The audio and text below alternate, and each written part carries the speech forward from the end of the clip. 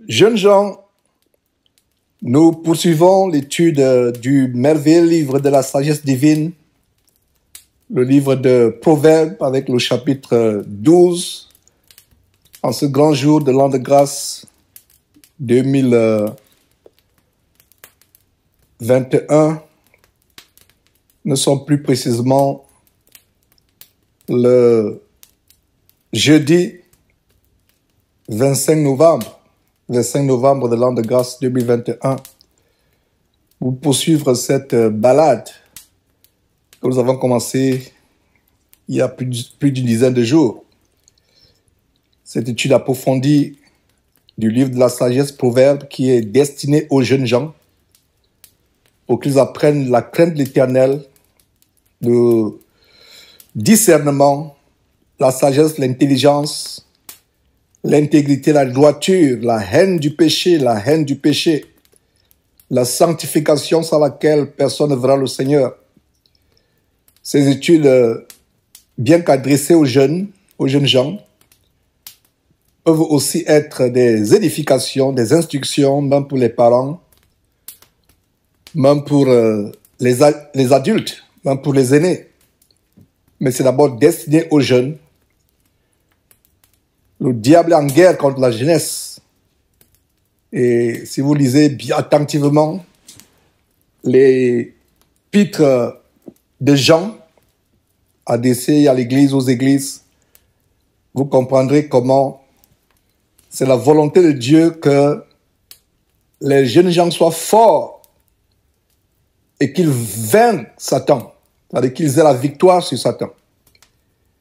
Et la victoire sur Satan, jeunes gens, commence d'abord par la victoire sur le péché, la victoire sur les passions de la jeunesse, la victoire sur tout ce qui peut être pour vous une pierre d'achoppement, je vais dire un moyen d'égarement, de perdition. Alors nous poursuivons par le chapitre 12, le chapitre du jour, verset 1. Celui qui aime la correction la science, celui qui hait la réprimande est stupide.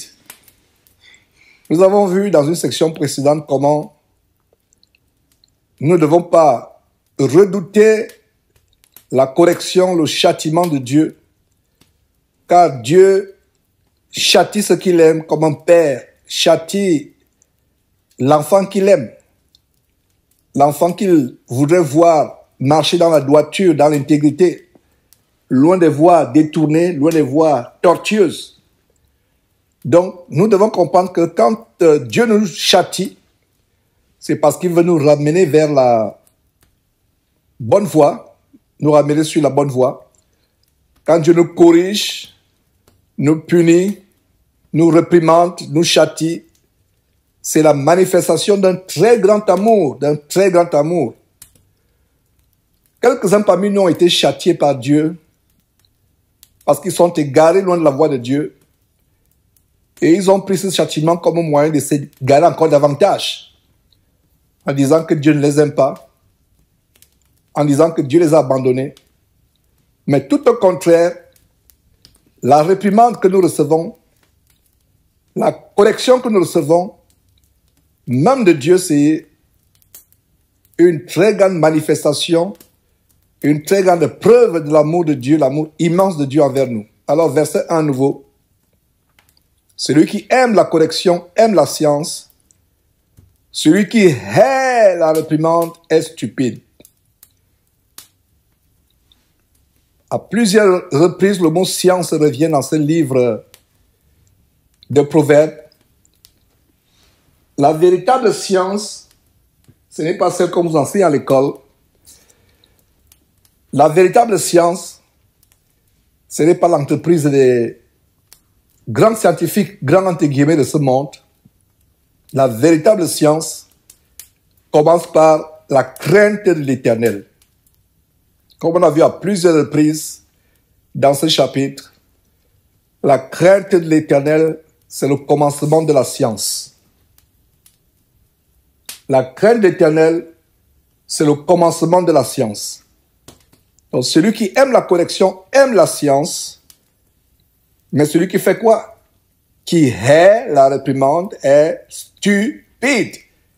Le mot stupide revient encore et encore et encore. J'imagine que beaucoup parmi vous qui suivez cet enseignement aujourd'hui, quand ils entendaient de ma bouche lors d'un enseignement le mot stupide, ils pensaient que c'était un mot fort, que c'était peut-être une injure. Mais nous devons parler comme Dieu parle. Nous devons qualifier les choses comme Dieu qualifie les choses.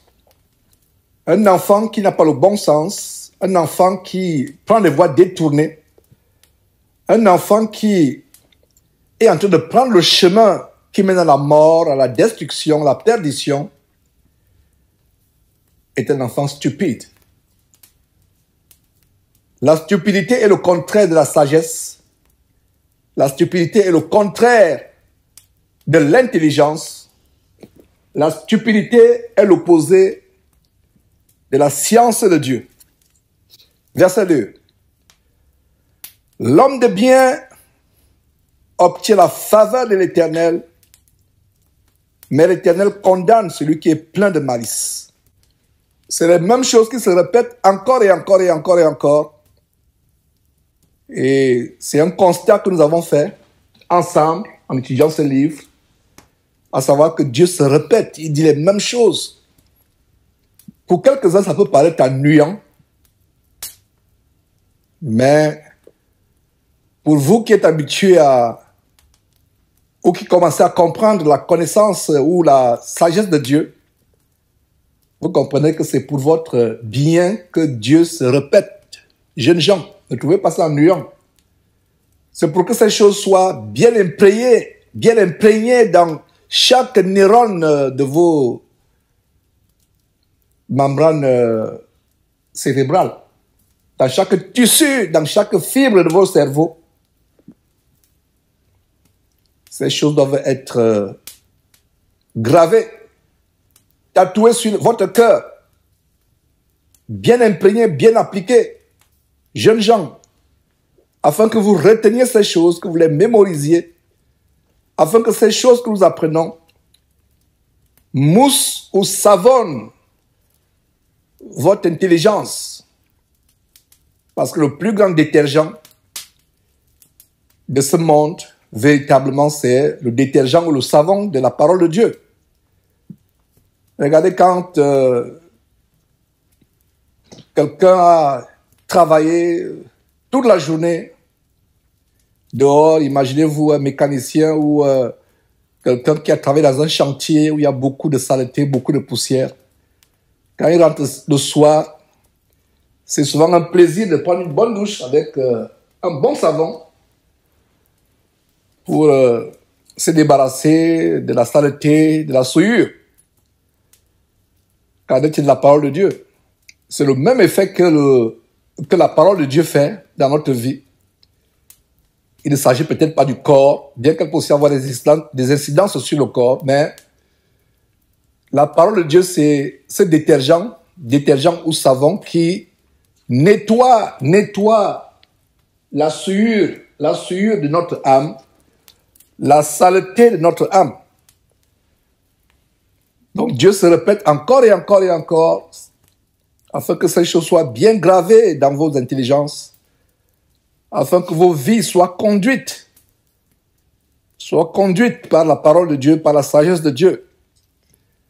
Alors, verset 2 à nouveau, l'homme de bien obtient la faveur de l'Éternel. La faveur de l'Éternel.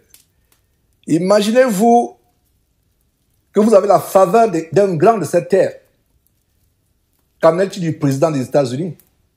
Imaginez-vous que vous avez la faveur du président des États-Unis, qui de temps en temps peut arriver, il peut lui arriver au président des États-Unis de gracier les criminels, de leur pardonner.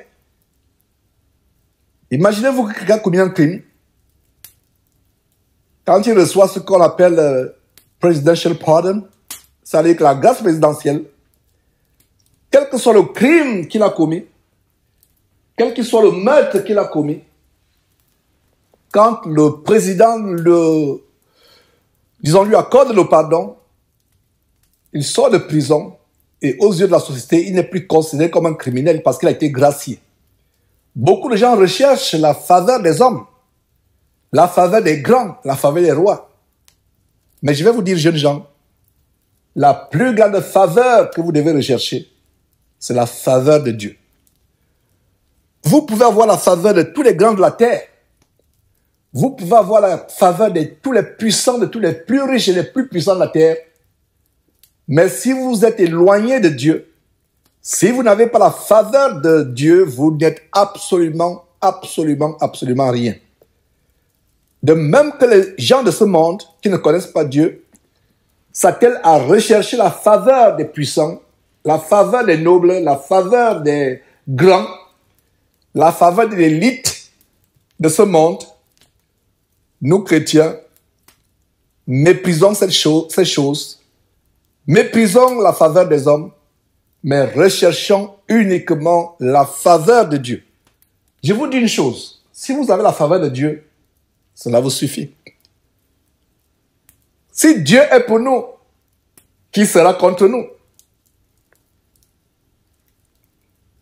Nous dit euh, la parole de Dieu en, en Romains chapitre 8. Si Dieu est pour nous, qui sera contre nous? Donc celui qui obtient la, qui fait le bien obtient la faveur de l'Éternel. Donc le verset 2 nous donne la révélation comment obtenir la faveur. La faveur signifie quoi? Tu as la bénédiction de Dieu. Tu as la protection de Dieu. Quand tu es attaqué par une maladie, Dieu te guérit. Quand le diable envoie un accident de voiture ou peu importe ce qu'il envoie, une flèche, une balle de fusil, peu importe, Dieu te protège. La faveur de Dieu est tellement grande. Non seulement pour ta vie, mais pour ta famille plus tard, jeunes gens, euh, jeune homme ou jeune femme, excusez-moi, pour votre famille plus tard, si c'est la volonté de Dieu que vous ayez des familles. Alors, l'homme de bien obtient la faveur de l'éternel. Recherchez à être des hommes et des femmes de bien, jeunes gens, plus tard. L'homme de bien, l'homme qui aime le bien, qui s'attache au bien, qui fait le bien autour de lui, qui répand le bien autour de lui, qui ne fait pas le mal, qui hait le mal, qui hait le péché. L'homme de bien, l'homme qui marche dans la droiture, loin de la fraude, du mensonge, loin de la fourberie, loin des moqueries, loin de toutes sortes de voies négatives. L'homme de bien fait quoi? Obtient, obtient la faveur de l'éternel. Mais regardez le contraire. Mais l'éternel condamne celui qui est plein de malice. La malice, la fraude, la fourberie, la malice, vouloir tromper. Les jeunes gens, l'une des caractéristiques de la folie dans le cœur des jeunes, c'est de vouloir tromper leurs parents, de vouloir paraître sages, penser qu'ils peuvent se jouer de leurs parents, les tromper, prendre les voies de ruse, de tromperie, de fraude. La Bible vous révèle au verset 2 que l'Éternel condamne celui qui est plein de malice. Verset 3. L'homme ne s'affermit pas par la méchanceté, mais la racine des justes ne sera point ébranlée. Dans ce monde. Et vous voyez, au fur et à mesure que nous, nous, nous évoluons dans ce livre, jeunes gens, qu'est-ce que nous constatons? La logique de Dieu est contraire, est opposée, diamétralement opposée à la logique de ce monde. Les voies de Dieu sont diamétralement opposées, radicalement opposées aux voies de ce monde. Pour le monde, pour la société dans laquelle, euh, les sociétés dans lesquelles vous et moi nous, vivons, la logique du monde voudrait que pour s'en sortir, pour devenir riche, pour euh, devenir grand, peu importe les moyens, peu importe la voie qu'on prend, on est prêt à tout faire pour devenir grand. On est prêt à mentir, à se prostituer, à voler, à faire tout ce qui est mal pour arriver à ses fins.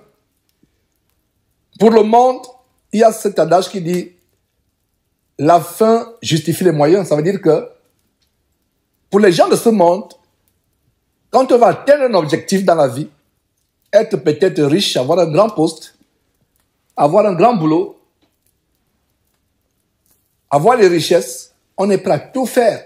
Mentir, tuer, voler, vendre son âme, se prostituer, pourvu qu'on soit riche. Mais le verset 3 dit, l'homme ne s'affaiblit pas par la méchanceté.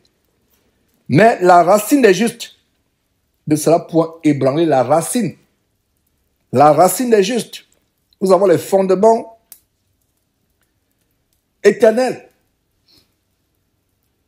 Nous venons de chanter avant de commencer cet enseignement. Le Christ est ma retraite sûre. Le rocher sur lequel je m'appuie. Tout autre abri est périssable. Tout autre asile n'est que du sable. Mais quand nous sommes plantés en Jésus-Christ, le rocher, le roc, le rocher de tous les âges, rien ne peut nous arriver. Voilà ce que dit ce verset. Mais la racine des justes est, ne sera point ébranlée. Pourquoi? Parce que la racine des justes est fondée en Christ, en Jésus-Christ. Jeune femme, Dieu, à partir du verset 4, commence à te parler, commence à te montrer quelques détails sur les caractères d'une bonne épouse ou d'une mauvaise épouse. Et ça prépare les jeunes femmes, si c'est la volonté de Dieu qu'elles se marient, à être de bonnes femmes. Donc voilà un, aspect que nous ouvrons, adressé spécifiquement aux jeunes femmes. Verset 4. La femme vertueuse est la couronne de son mari, mais celle qui fait honte est comme la carie dans ses eaux. Ce verset est tellement fort. La femme vertueuse la couronne de son mari. La femme vertueuse est la couronne de son mari. Jeune femme, recherche la vertu plus que toute autre chose. On a vu un verset choquant hier en Proverbe chapitre 11 au verset 22. Un anneau d'or au nez d'un pourceau ou d'un cochon. Un anneau ou un bijou. Un anneau d'or au nez d'un pourceau ou d'un cochon. C'est une femme belle et dépourvue de sens. Et bien avant cela, nous avons vu ce verset qui dit que la folie est une femme euh, bruyante, stupide et ne sachant rien. Ma prière pour toi, jeune femme qui écoute cet enseignement, jeune fille, ma jeune sœur, ma fille, ma prière pour toi et mon vœu pour toi, c'est que tu élèves au standard d'une femme vertueuse, qui sera la couronne de son mari. Beaucoup de chrétiens aujourd'hui avec notre civilisation embobinée dans le mensonge du féminisme, un mensonge diabolique, les courants féministes, féministes euh, ou les courants du féminisme ont envahi même les milieux chrétiens au point où les femmes chrétiennes aujourd'hui pensent qu'elles sont négligées parce qu'on leur dit que sur la base biblique, elles ne peuvent pas enseigner, elles ne peuvent pas avoir des ministères, elles ne peuvent pas devenir pasteuses ou pastrices ou elles ne peuvent pas prendre l'autorité sur l'homme. Mais voilà un verset qui est tellement encourageant pour les femmes, pour les jeunes femmes. À savoir quoi? La femme vertueuse est la couronne. La couronne. Le monde est impressionné par les couronnes euh, des princes, des princesses, des rois, des reines, comme la reine d'Angleterre. Une couronne avec toutes sortes de, diamants, de, pierres précieuses.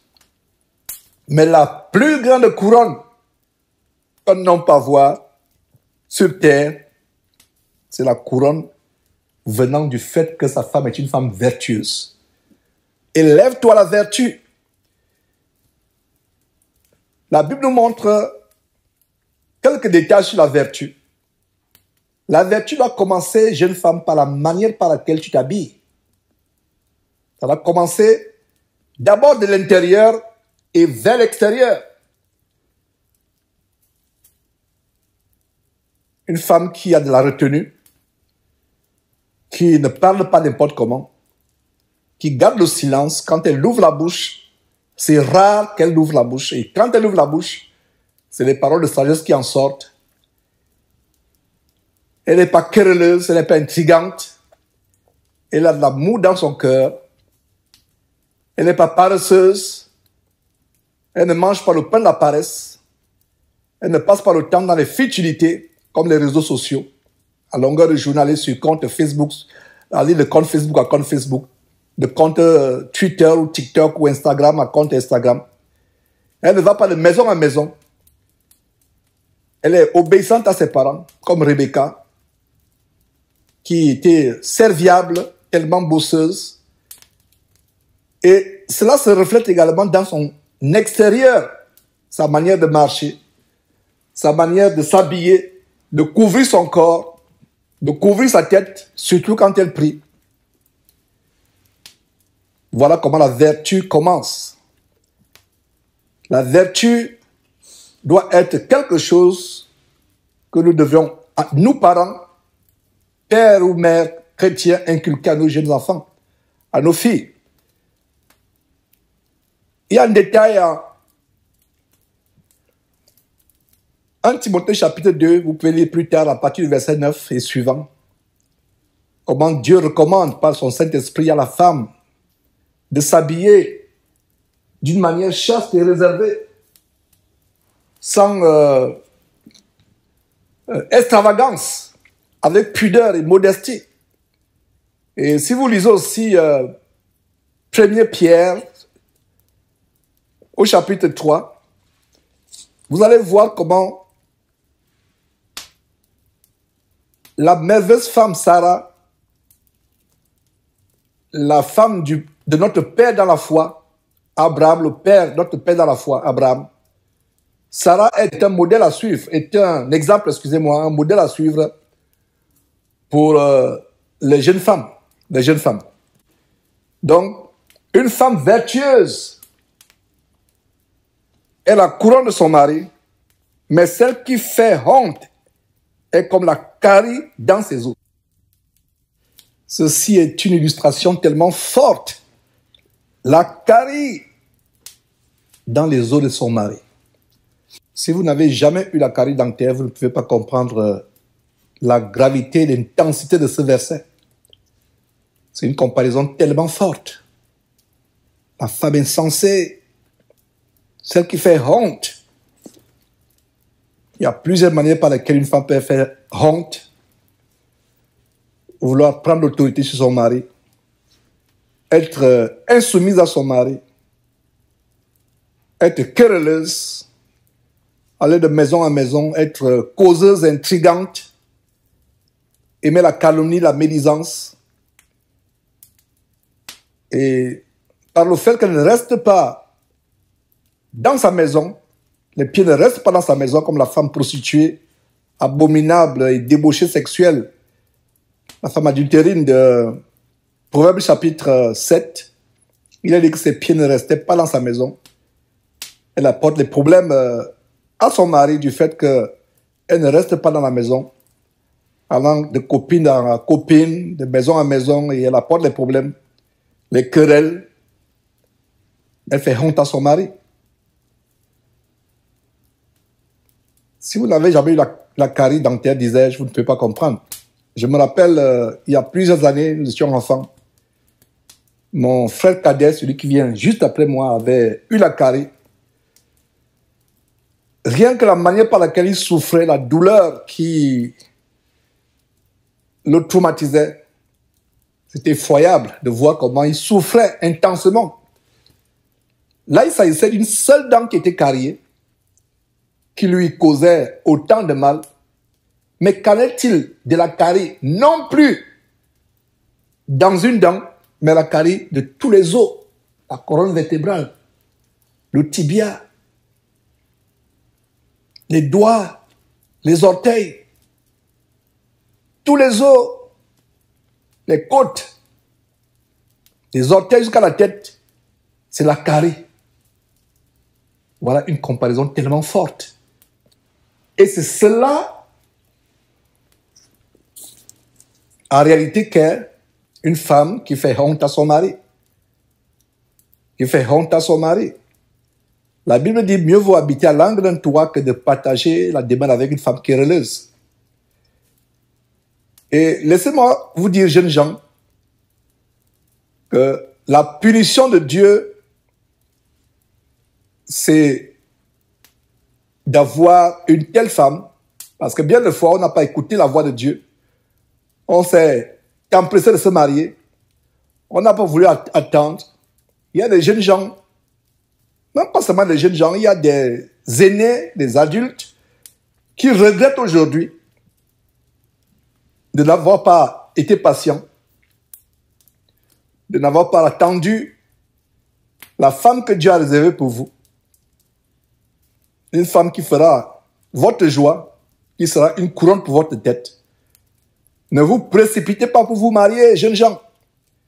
C'est vrai que la Bible dit, il vaut mieux se marier que de brûler par la fornication, la masturbation, la débo sexuelle. C'est mieux de se marier.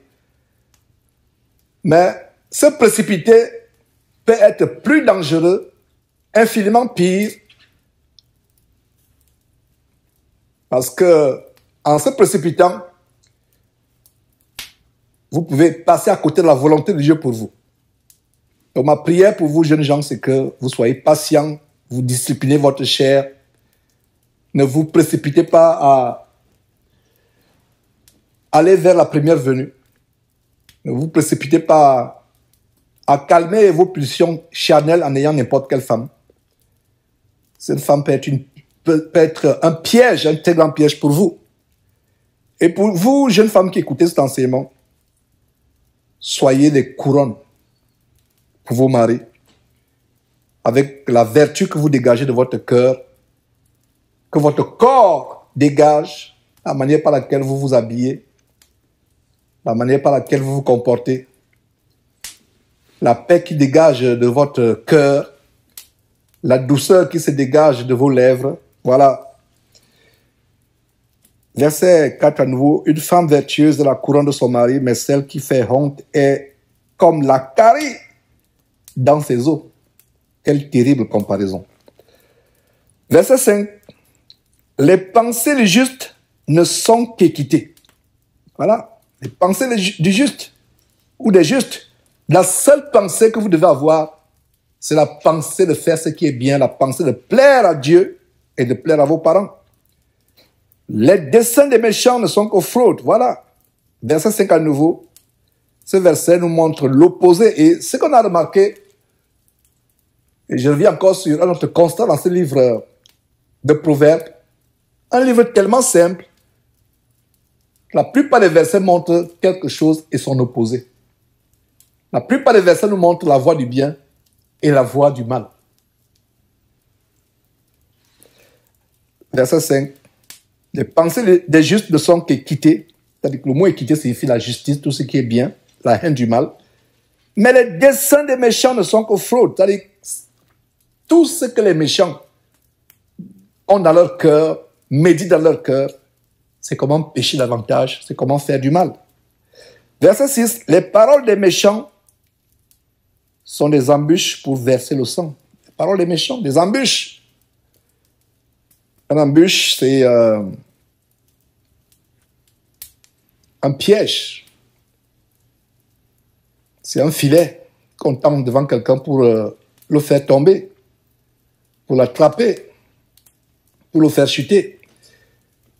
Les paroles des méchants, verset 6, sont des embûches pour verser euh, le sang.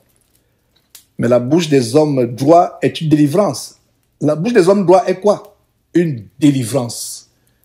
Jeunes gens, ma prière est que quand vous ouvrez la bouche, que ce soit à partir de maintenant ou plus tard, que ce soit une parole qui apporte la guérison, la délivrance, le réconfort à quelqu'un. Verset 7. Renversés, les méchants ne sont plus. Et la maison des justes reste debout. Voilà. Quelle grande parole de consolation, d'assurance. Les maisons des méchants ainsi que les méchants ne tiendront pas longtemps. Les méchants sont renversés, mais la maison des justes reste debout. Verset 8. Un homme est estimé en raison de son intelligence, et celui qui a le cœur pervers est l'objet du mépris. L'objet du mépris. Cela est vrai, même dans les relations humaines où Dieu n'est pas forcément dedans. Mais cela est davantage encore beaucoup plus vrai quand il s'agit de l'intelligence venant de Dieu. Imaginez-vous dans une famille, quelqu'un est sage, s'est bien comporté, il a fait de bonnes études, il a toujours été droit, il aura plus de respect qu'un membre de cette famille qui a passé le temps à aller avec les prostituées, à voler, aller en prison. Aujourd'hui, il va en prison pour telle chose, il sort.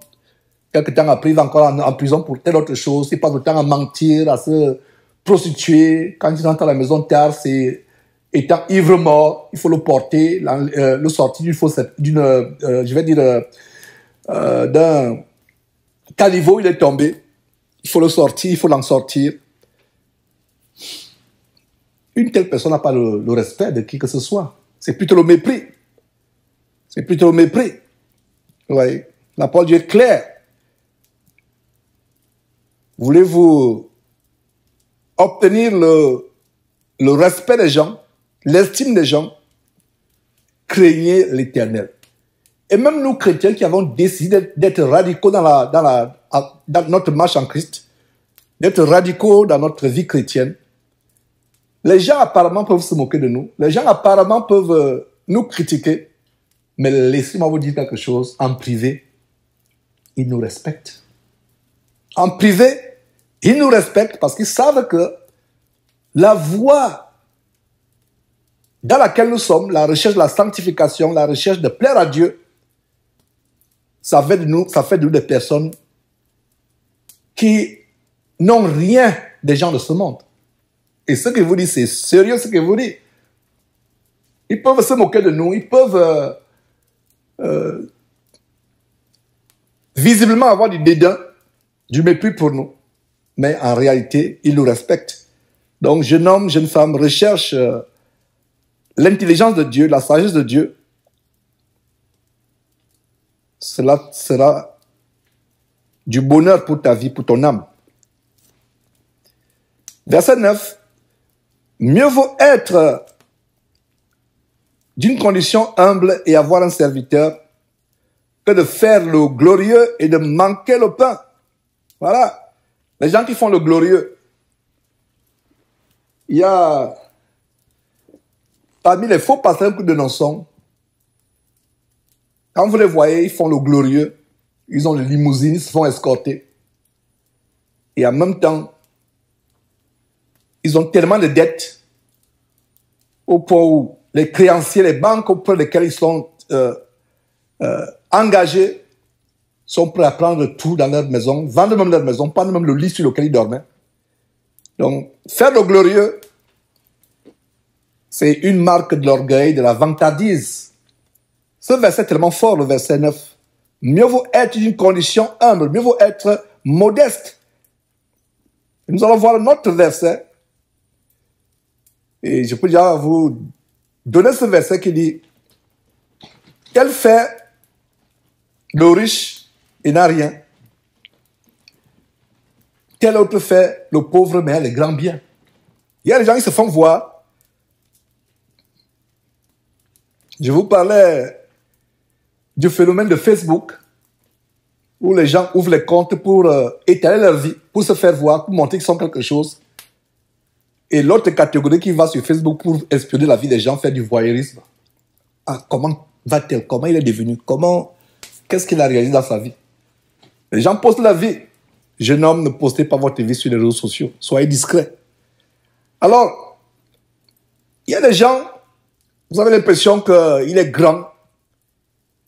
D'autres même euh, vont poster euh, des voitures qui n'ont pas, qui ne leur appartiennent pas et jeunes gens, Ne pensez pas que nous, vos parents, nous n'étions pas jeunes, nous étions aussi jeunes. Voyez un jeune qui va se filmer à côté d'une très belle voiture. la voiture ne lui appartient pas. Il va, il pose la, main sur la voiture, se filme. Il met ça sur les réseaux sociaux. Pour attiser la convoitise, l'envie. Et toi, jeune, tu te mets à le convoiter. Tu te mets à l'envier. Tu es prêt à tout faire, aller voler, aller te positionner pour avoir la même voiture. Alors que ce n'est pas sa voiture. Il a tout simplement posé la main sur la voiture. Pour faire croire que c'est sa voiture. Et c'est un des détails des gens de cette génération. Jouer les riches, jouer les, glorieux, c'est passer pour quelqu'un d'important. Montrer qu'ils sont quelque chose, c'est un caractère de la vanité. Même les gens de ce monde ont du bon sens plus que les chrétiens. Il y a quelque chose que j'ai remarqué, c'est que les grands de ce monde, certains, pas tous, mais je pense la plupart, surtout ici aux États-Unis, si euh, vous rencontrez par exemple Zuckerberg, le fondateur de Facebook quelque part, ou euh, le patron de Google, ou le patron de la compagnie Tesla, Jeff Bezos, vous aurez du mal à savoir que s'il s'agit, euh, que c'est eux. Ils sont discrets. Vous ne verrez jamais. Il y a d'ailleurs une photo que nous avons postée sur Facebook et on a fait un commentaire sur cette photo. Zuckerberg qui est assis sur un banc il a les sandales, des babouches qu'on vend à quelques cents en Afrique. Il a ces babouches-là, il est assis. Et on a mis le commentaire, vous qui postez vos vies, qui jouez les glorieux, les riches sur Facebook, voilà la photo du fondateur de Facebook postée sur Facebook.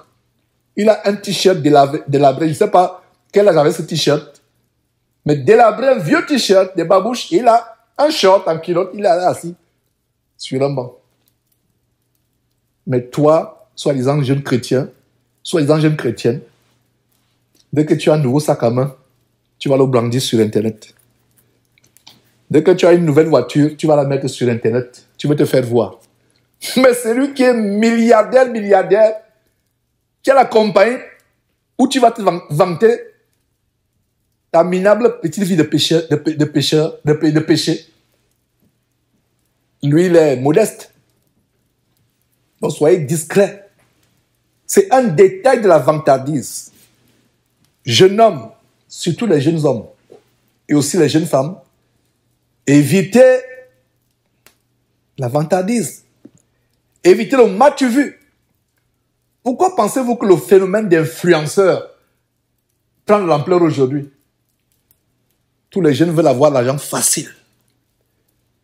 Ils veulent s'exposer sur les réseaux sociaux pensant qu'en s'exposant sur les réseaux sociaux, on aura de l'argent. On sera célèbre.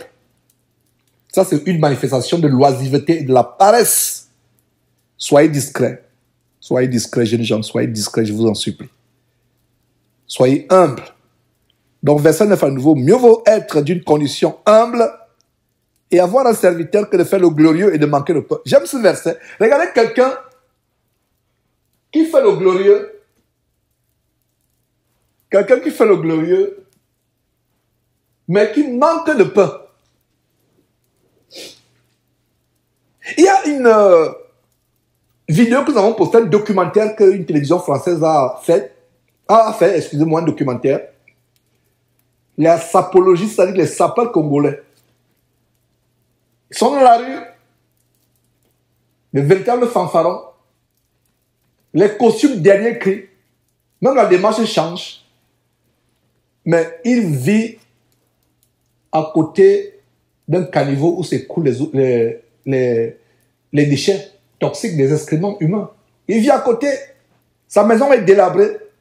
Mais il sort de cette maison, il va dans le quartier, dans les carrefours, dans les marchés, exhiber ce que les jeunes appellent euh, sa sape, ses chaussures euh, Dernier cri, c'est fringues.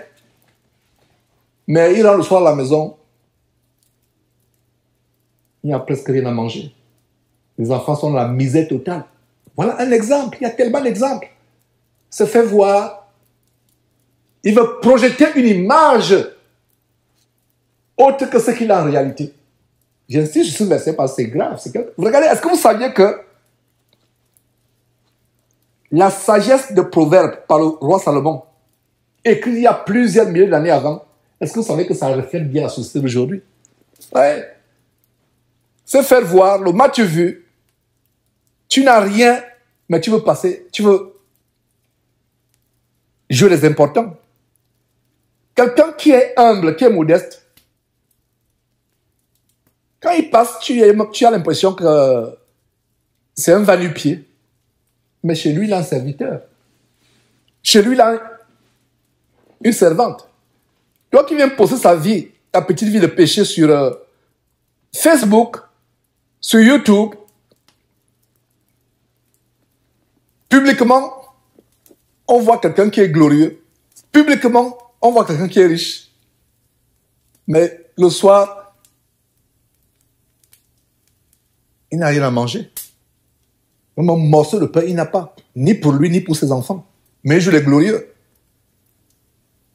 Soyez discret, soyez modeste. Ne jouez pas les glorieux. Et ça, c'est le phénomène de presque 100% des faux pasteurs que je dénonce. Ils jouent les, les glorieux mais c'est l'argent de l'escroquerie, l'argent du vol, l'argent de la rapine évangélique, l'escroquerie évangélique, mais je le glorieux. Et ils sont tellement empêtrés dans les dettes. Parce que pour avoir un niveau de vie, pour se faire voir et avoir un niveau de vie que vos moyens ne peuvent pas vous permettre d'avoir, c'est les dettes. Ils sont les, ces chrétiens qui sont maintenant encore obligés de rembourser ces dettes. Donc ce verset est tellement profond, tellement profond ce verset 9. Mieux vaut être d'une condition humble ou modeste et avoir un serviteur que de faire le glorieux. On fait le glorieux devant qui? On fait le glorieux devant les gens. Mais on manque de pain. Verset 10. Le juste prend soin de son bétail mais les, entrailles des méchants sont cruelles. Ça veut dire que le juste, celui qui craint Dieu, est diligent. Il prend soin de ses affaires. Si ce sont tes études que tu fais, prends soin de tes études. Prends soin de tes études, jeune homme. Ne les néglige pas. Dieu en premier dans ta vie, Dieu en premier, mais ne néglige pas ce que tu entreprends. Ton bétail, ça peut être tes études, ça peut être euh, un métier que tu apprends, ça peut être euh, un travail que tu viens de commencer. Ça peut être un commerce que tu viens de commencer. Le juste prend soin de son bétail. Et la plupart des jeunes gens qui sont oisifs dans les quartiers ou sur les réseaux sociaux, en train de faire n'importe quoi, c'est parce qu'ils n'ont rien à faire. Comme le jeune homme tourmenté, stupide de Proverbe chapitre 7 qui se dirigeait lentement, c'est-à-dire oisivement, vers euh, le lieu où résident les prostituées, parce qu'il n'avait rien à faire. Donc le juste prend soin de son bétail, mais les entrailles des méchants sont cruelles.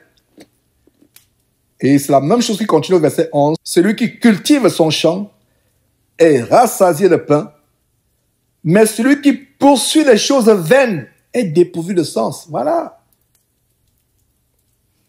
Cultive ton champ, jeune homme, jeune femme. Tes études, c'est ton champ. Et pour ceux qui réellement font des travaux champêtres, occupe-toi des travaux champêtres. Apprends-tu un métier, occupe-toi à bien apprendre ce métier. Viens-tu euh, euh, viens de commencer un travail, occupe-toi à bien travailler, à ne pas négliger ce travail. Celui cultive son champ et rassasié de pain. Et c'est contraire à l'évangile de prospérité. L'évangile de prospérité n'enseigne pas aux jeunes gens de fuir le péché. N'enseigne pas aux gens d'être transformés, de vivre dans la sanctification. Mais leur enseigne à poursuivre par tous les moyens la richesse. Les enseigne à devenir par tous les moyens riches. Et c'est pour ça que vous voyez beaucoup de futilité parmi les jeunes. Donc celui qui cultive son champ est rassasié de pain, mais celui qui poursuit les choses vaines est dépourvu de sens et sera rassasié de pauvreté.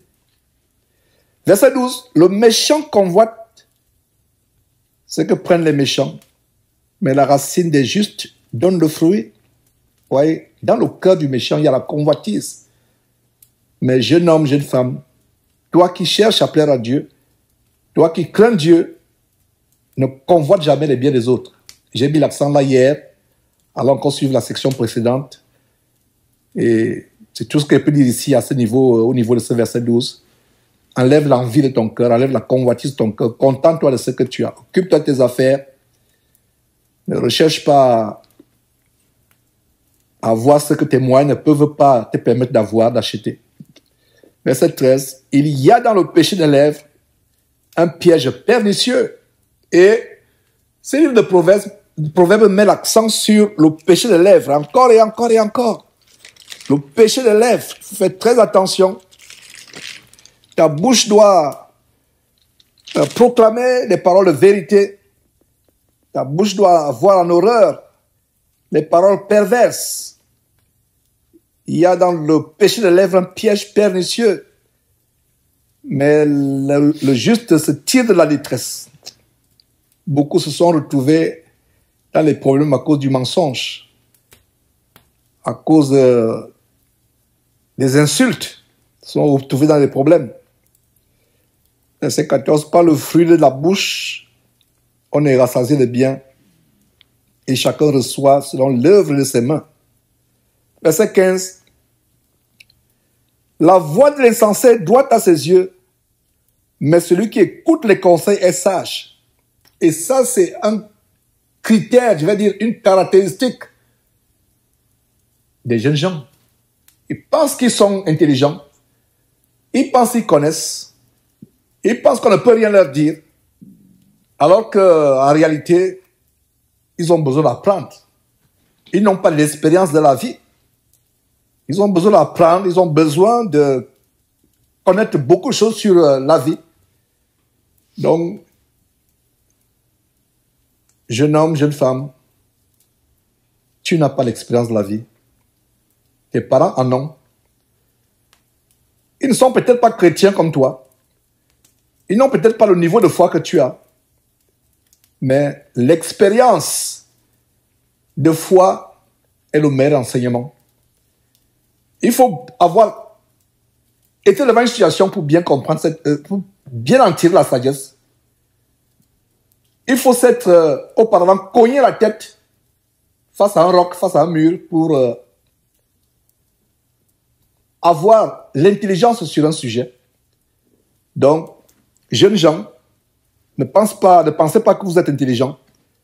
Ne pensez pas que vous n'avez pas besoin des conseils des aînés. Ne dédignez pas ou ne méprisez pas les conseils de vos parents. Parce qu'ils ont l'expérience. L'expérience peut venir du fait que tu t'es mal comporté par le passé quand tu étais jeune et tu as eu les conséquences et c'est ça l'expérience. Donc écoutez les conseils. Verset 15, la voix de l'insensé doit à ses yeux mais celui qui écoute les conseils est sage. Écoutez les conseils. La voix de la sagesse, écoutez les conseils. L'insensé laisse voir à l'instant sa colère. Être coléreux, colérique, emporté, ce n'est pas une bonne chose. Mais celui qui cache un outrage est un homme prudent. C'est-à-dire que vous a fait du mal, quelqu'un vous a outragé, c'est-à-dire que vous a fait un grand tort, un grand mal, et la capacité de vous maîtriser, de vous maîtriser, de pardonner à la personne. Et quand je lis ce verset 16, à savoir que celui qui cache un outrage est un homme prudent, ça me rappelle ce que le Seigneur Jésus dit en Matthieu chapitre 5. Heureux serez-vous quand on vous outragera. Ne sois pas dans la colère quand on te fait du mal. Ne sois pas prompt à te venger. Laisse Dieu te venger, jeune homme, jeune femme. Sois plutôt content quand on t'outrage, quand on fait, on te fait de mauvaises choses, quand on dit de mauvaises choses euh, sur toi. Prie plutôt pour les personnes qui te font du mal. Prie plutôt pour ces personnes. Pardonne-leur. Évite la colère. Ne te laisse pas emporter par la colère. Quelqu'un t'a fait du mal, rends grâce à Dieu. Rendons grâce à Dieu en toutes choses. Soyons prompts à pardonner. Verset 17. celui qui dit la vérité proclame la justice, le faux témoin la tromperie. On a vu encore et encore et encore comment Dieu a en horreur le mensonge. Beaucoup se délectent dans le mensonge. Dieu a en horreur le mensonge. Le faux témoin. Et on a vu plusieurs choses que donc Dieu a en horreur. Et euh, Dieu, c'est l'une des choses qui amène la colère de Dieu. Et on a vu ça en Proverbe chapitre 6, à partir du verset 16, Proverbe chapitre 6, verset 16 à, à 19. Six choses que hait l'Éternel et même sept qu'il en horreur. Et au verset 19, nous avons la sixième chose, à savoir le faux témoin qui dit des mensonges. Dieu a en horreur de cela. Vous voyez comment la parole se, se répète encore et encore et encore. C'est que vers la fin de ce livre, quand on arrivera à la fin de ce livre, c'est les choses que vous aurez entendues et encore et encore et encore et encore. Et mon encouragement pour vous, c'est que ces choses soient gravées dans votre cerveau, sur la table, tatouées sur la table de votre cœur, euh, que vous écoutiez ces enseignements encore et encore et encore, que vous lisez ces livres encore et encore et encore, et surtout que vous le mettiez en pratique. Verset 17, celui qui, qui dit la vérité proclame la justice. Donc chaque fois que nous disons la vérité, nous proclamons la justice de Dieu. Mais Dieu a un horreur du faux témoin qui euh, veut tromper, qui dit des mensonges. Verset 18, tel qui parle légèrement blesse comme un glaive, mais la langue des sages apporte la guérison. la langue des sages apporte quoi? La guérison. Voilà ce que la langue des sages apporte. Et ce qu'on a vu euh, au verset 6 euh, plus, euh, plus haut, au verset 6 plus haut, à savoir que la bouche des hommes droits est une délivrance. C'est la même chose ici que nous voyons au verset 19, à savoir que, plutôt au verset 18, à savoir que la langue des sages apporte la guérison. Donc quand vous ouvrez la bouche, jeunes gens, de votre bouche doivent sortir la délivrance, la guérison. Verset 19, la lèvre véridique, c'est-à-dire la lèvre qui dit la vérité, qui a horreur le mensonge. Et pourquoi, jeunes gens, Dieu met l'accent depuis qu'on a commencé cette étude sur le mensonge? C'est parce que Dieu a en horreur le mensonge, justement. Verset 18, tel parle légèrement, tel qui parle légèrement, blesse comme un glaive. Un glaive, c'est une épée. Mais la langue des sages apporte la guérison. Parler légèrement, c'est parler sans avoir réfléchi. Vous parlez, vous sortez quelque chose de votre bouche, après vous vous mordez la langue, vous dites, mais je n'ai pas dû dire ça. C'est tard. C'est ça, parler légèrement. Il y a eu des cas où un frère ou une sœur qui donne des conseils à un autre frère, une autre sœur, qui a le cas, l'amour, l'envie de vouloir conseiller un frère, de vouloir aider un frère, mais plus tard, ça se retourne contre lui. Il y a eu le cas où une sœur qui donnait des conseils à une autre sœur qui avait des problèmes dans son mariage, donnait des conseils, mais plus tard, la sœur a été choquée, affligée. Quand la sœur à qui elle donnait des conseils lui a dit qu'en fait, je pense que tu voulais détruire mon mariage. Voilà ce que dit ce verset ici, si vous n'avez pas compris. Ce verset dit que celui qui parle légèrement blesse comme un glaive. Parler légèrement, c'est parler avec précipitation. Parlons difficilement. Nos paroles, même avec les bonnes intentions, et cette salle-là n'avait pas de mauvaises intentions. Cette salle avait de très bonnes intentions, mais l'autre a plus tard compris comme si on voulait détruire son mariage.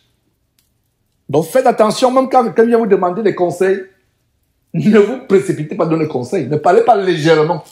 Voilà ce que dit ce verset. Le livre de Proverbe a tout. Il y a tout. C'est le livre de la sagesse. Bien des fois, nous n'avons pas été sages parce que nous n'avons pas recherché à connaître la sagesse de Dieu. Vous voyez, c'est tellement important. Relisons ce verset, tel qui parle légèrement. À partir d'aujourd'hui, jeune homme, jeune femme, ne parle pas légèrement. En parlant légèrement, tu vas blesser les gens même sans t'en rendre compte. Tu vas blesser les gens. Même pas ton témoignage, le témoignage de ta vie. Tu peux donner le témoignage pensant édifier les gens. Mais les personnes qui ne sont pas fermées pourront être scandalisées, choquées parce qu'ils ne comprennent pas la portée de ton témoignage. Que Dieu vous donne de comprendre véritablement la profondeur de ce verset 18. Tel qui parle légèrement, blesse comme un glaive. Mais la langue des sages apporte la guérison. Il y a aussi une autre manière de parler légèrement. C'est être prompt à, blesser les gens, d'être prompt à, à dire n'importe quoi. donc il y a deux manières. Donc suivez très bien vos langues. Réfléchissez d'abord avant de, de parler. Tournez votre langue sept fois dans la bouche avant de sortir une parole avec cette langue. J'espère que vous m'avez compris. Tournez votre langue sept fois. Il ne s'agit pas de faire un geste physique maintenant devant les gens, vous ouvrez la bouche comme ça à tourner cette fois. Non, c'est pas de, de ça que je parle. C'est une façon de dire que faites attention. Ne vous précipitez pas pour parler. Avant de sortir une parole, méditez d'abord. Pesez vos mots. Et c'est pour ça qu'on a vu la dernière fois que la bouche qui parle beaucoup ne manque pas de péché. Vous pouvez blesser quelqu'un sans vous en rendre compte, à force de beaucoup parler. À force de beaucoup parler, vous pouvez mentir sans vous en rendre compte. Donc, relisons ce verset poursuivant. La lèvre véridique. Plutôt verset 18 d'abord. Tel qui parle légèrement blesse comme un glaive, c'est-à-dire une épée. Mais la langue des sages apporte la guérison. Verset 19. La lèvre véridique est affermie pour toujours, mais la langue fausse ne subsiste qu'un instant. Il y a cet adage que les gens euh, aiment bien dire le mensonge prend l'ascenseur, mais la vérité prend l'escalier. Avec quand le mari a le mensonge, c'est l'ascenseur. Ça arrive vite. Mais plus tard, doucement, doucement, la vérité qui a pris l'escalier viendra la taper. Le mensonge au haut de l'étage et exposer que ce mensonge est un mensonge. Donc faites attention. Les paroles de mensonge, vous avez l'impression que vous avez menti, mais plus tard, ça viendra vous ronger plus tard. Il y a eu des cas où quelqu'un ment et plus tard il a mis la main dans le sac. Et voilà, autour de vous, les gens se moquent de vous, les gens vous insultent, vous n'avez que du mépris. Les gens n'ont plus de considération pour vous. Un menteur sera toujours découvert. C'est ce que dit la vérité. C'est ce que dit la vérité de ce, verset. La lèvre véridique est affermie pour toujours. Mais la, langue fausse ne subit qu'un instant. Qu'un instant. Verset 20. La tromperie est dans le cœur de ceux qui méditent le mal, mais la joie est pour ceux qui conseillent la paix. Dieu se répète encore et encore la même chose. La tromperie est dans le cœur de ceux qui méditent le mal, mais la joie est pour ceux qui conseillent la paix. Quand tu ouvres la bouche jeune homme, c'est des paroles de consolation, d'édification, des paroles de sagesse qui apportent la paix à ceux qui t'entendent. Verset 21, aucun malheur n'arrive au juste, mais les méchants sont accablés de mots. Ça, c'est une très grande vérité. Aucun malheur. Et même si le malheur apparemment arrive, apparemment t'atteint, la Bible te déclare, Dieu te garantit qu'il t'en délivre toujours. Ce verset dit, le malheur atteint souvent le juste, mais l'Éternel l'en délivre toujours. Donc, en réalité, au final, aucun malheur ne t'arrive. Parce que même s'il arrive, Dieu va t'en délivrer. Mais les méchants sont accablés de mots, verset 22. Les lèvres fausses, encore la fausseté des lèvres, la tromperie, encore et encore et encore. Ouais, vous pouvez vous demander, mais pourquoi Dieu ne peut pas parler une fois pourquoi le livre de Proverbes ne pouvait pas peut-être pas être en, trois chapitres au lieu d'être en 31 chapitres? C'est pas par hasard. C'est tellement important. Écoutez encore et encore et encore ces choses. Verset 21. plutôt 22, les lèvres fausses sont en horreur à l'éternel, mais ceux qui agissent avec la vérité, avec vérité, ceux qui agissent avec vérité lui sont agréables. L'homme prudent cache sa science, mais le cœur des insensés proclame la folie. La folie. Le verset 24 reprend ce qu'on a vu plus haut, à savoir que vous devez prendre soin de votre champ pour éviter d'être pauvre. C'est ce que le verset 24 dit, la main des diligents dominera, mais la main lâche ou la main paresseuse sera tributaire, c'est-à-dire que sera toujours mendiante. Tributaire, c'est-à-dire qu'attendre un tribut, attendre une offrande, attendre de l'aumône. Tributaire vient de tribu. Pourquoi ces faux pasteurs euh, vivent aux dépens des autres? C'est parce qu'ils ne veulent pas travailler. Même si tu prêches l'évangile, même si tu décides plus tard, jeune homme, que tu vas prêcher l'évangile de, l'évangile de Christ, cherche d'abord à voir ton travail. C'est là que tu vas à l'école. C'est là que tu apprends un métier. Afin que tu ne dépendes pas des gens. Afin que tu ne sois pas un parasite. Comme la plupart des parasites de luxe aujourd'hui qui s'appellent pasteurs, mais qui sont des chômeurs et des parasites de luxe, vivant aux dépens des autres. Donc, la main des dirigeants dominera. Diligence, ça veut dire que tu t'occupes bien de ce que tu fais. Tu fais bien tes études, tu fais, tu fais bien ton travail. Tu ne manqueras pas de pain. Mais celui qui a une main lâche, qui a une main paresseuse ou un ventre paresseux. Comme il est dit dans le titre chapitre 1, je crois, ventre paresseux, toi toujours menteur, méchante bête.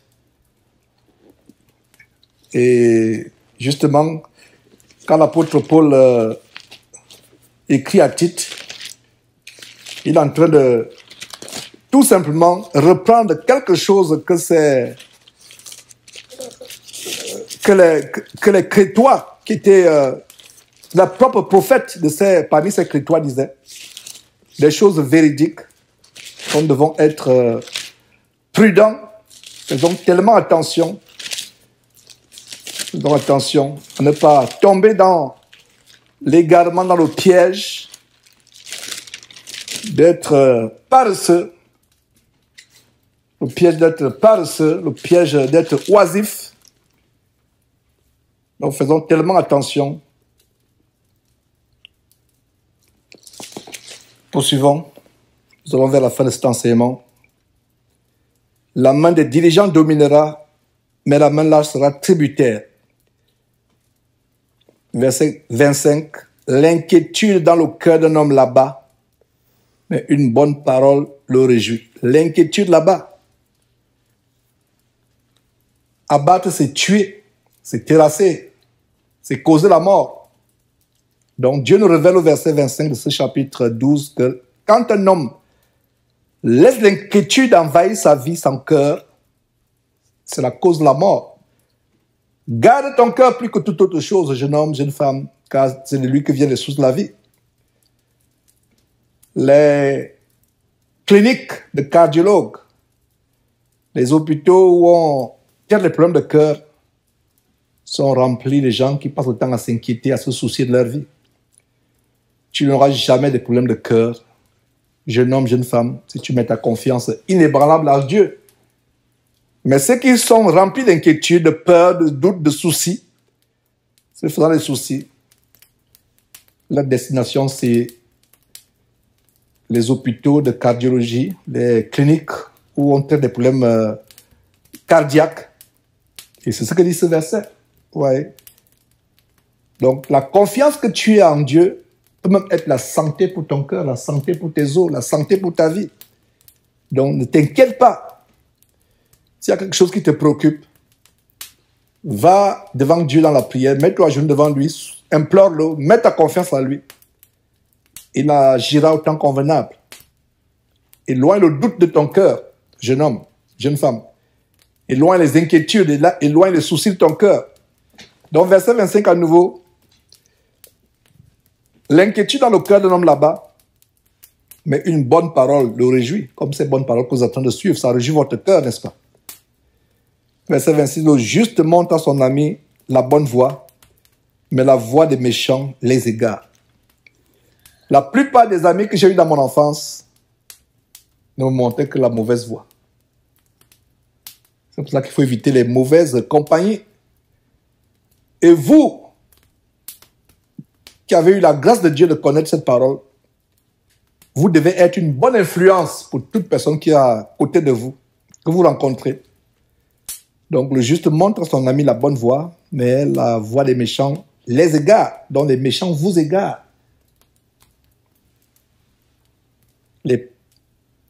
Le paresseux, verset 27, le paresseux ne retire pas son gibier, mais le précieux trésor d'un homme, c'est l'activité. Le précieux trésor d'un homme. Un paresseux, il a le gibier,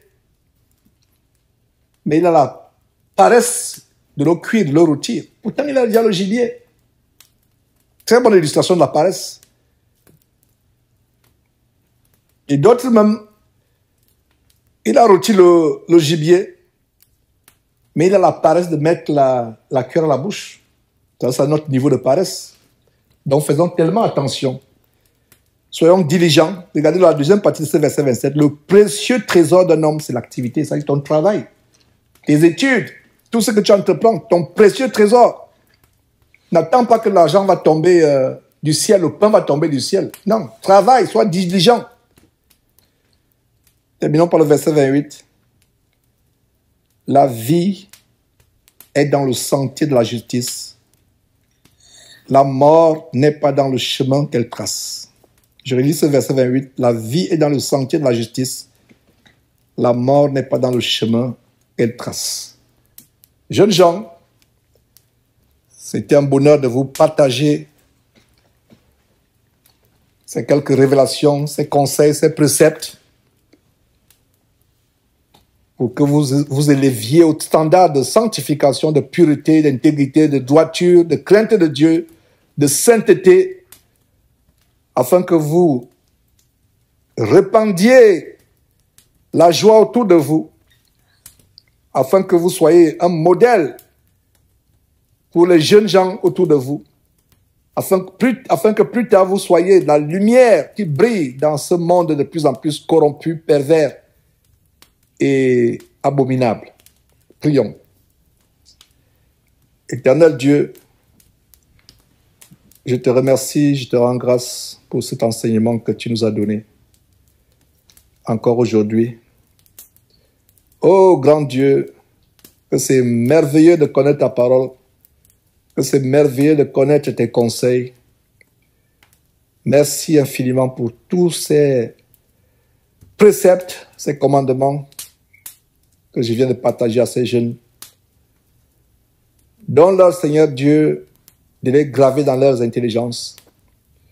Donne-leur d'expérimenter le renouvellement de leurs intelligences, d'expérimenter la délivrance de, de toutes sortes de passions, la délivrance du péché. Seigneur Dieu, merci infiniment pour tous tes bienfaits, pour toutes tes grâces et pour toutes tes faveurs.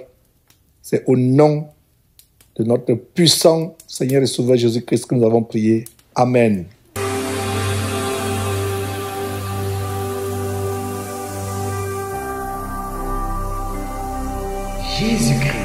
Vous